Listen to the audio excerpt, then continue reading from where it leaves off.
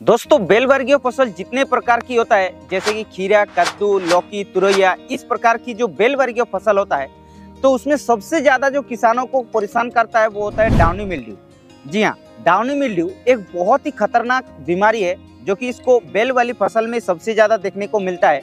उसके साथ साथ जैसे कि अंगूर की फ़सल में भी ये सबसे ज़्यादा देखने को मिलता है।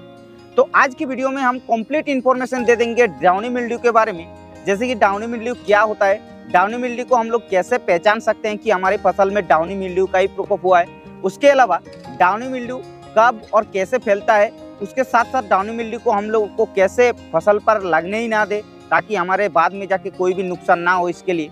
उसके अलावा, अगर बाई चांस अगर आप लोगों का फ़सल पर डाउनी मिल्ड्यू का प्रकोप हो गया, फिर भी हम लोग कौन कौन सी दवा को छिड़काव करके एक ही बार में हम लोग आसानी से उसको कंट्रोल कर सकते हैं? पूरी डिटेल्स में आज हम डाउनी मिल्ड्यू के बारे में ही बात करेंगे। तो वीडियो को आप लोगों को लास्ट तक देखना है, बट उससे पहले अगर हमारे इस चैनल पर पहली बार आ रहे हैं तो चैनल को सब्सक्राइब ज़रूर कर लीजिएगा, क्योंकि हम इस चैनल पर ऐसे वीडियो डालते रहते हैं। तो दोस्तों, सबसे पहले बात कर लेते हैं, डाउनी मिल्ड्यू क्या होता है? डाउनी मिल्ड्यू एक बहुत ही खतरनाक फंगल जनित बीमारी है, जो कि ये सोयल बर्न डिज़ीज़ भी है, यानी कि मिट्टी के अंदर से ये फंगस तैयार होता है और बाद में जाके फ़सल पर ये अटैक करता है।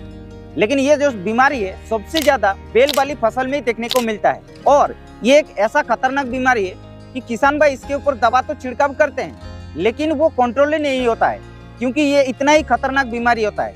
तो अभी हम आप लोगों को बताने जा रहे हैं कि कैसे आप लोग उसको एक ही बार में एक दवा को छिड़काव करके कंट्रोल कर सकते हैं, वो आगे जाके आप लोगों को बता रहे हैं। उससे पहले जान लेते हैं डाउनी मिल्ड्यू का लक्षण क्या होता है, यानी कि हम लोग कैसे पहचान सकते हैं कि हमारे फ़सल में डाउनी मिल्ड्यू का ही प्रकोप हुआ है।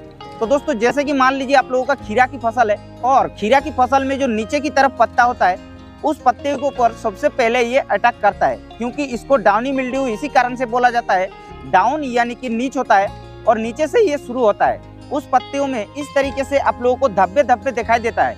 लेकिन आप लोग और एक चीज़ इसको समझने के लिए देखना पड़ेगा कि पत्ते की निचली सतह पे आप लोगों को देखने को मिलेगा।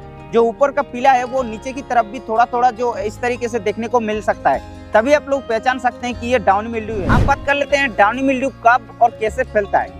तो जैसे कि आप लोगों को बता देते हैं डाउनी मिल्ड्यू ज़्यादातर आप लोगों का बारिश के मौसम में देखने को मिलता है, या फिर अगर आप लोगों का हाई टेम्परेचर हो जाता है तो उस समय पर डाउनी मिल्ड्यू ज़्यादातर देखने को मिलता है। और डाउनी मिल्ड्यू एक इतना खतरनाक बीमारी होता है, अगर आप लोग इसको सही से नहीं कंट्रोल करते हैं तो आप लोगों को पूरा फ़सल को बर्बाद कर देता है। तो क्यों ना हम लोग डाउनी मिल्ड्यू को अपनी फ़सल पर लगने ही ना दे?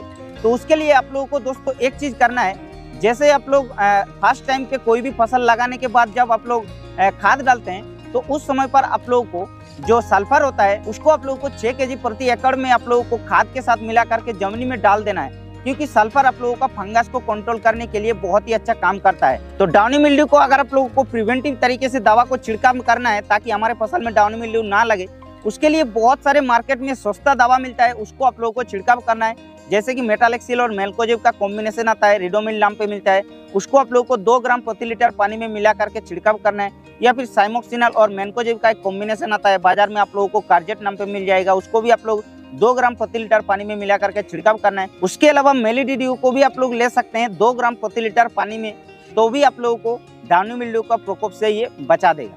तो इस तरीके से इस दवा को छिड़काव करने पर आपके फ़सल में डाउनी मिल्ड्यू का प्रकोप होगा ही नहीं।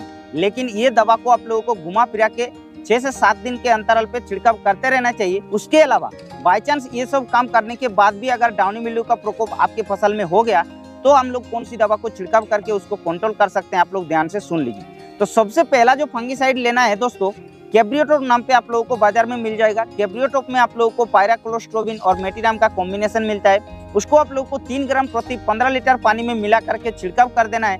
जिससे कि आपका डाउनी मिल्ड्यू को तुरंत ये कंट्रोल कर देगा।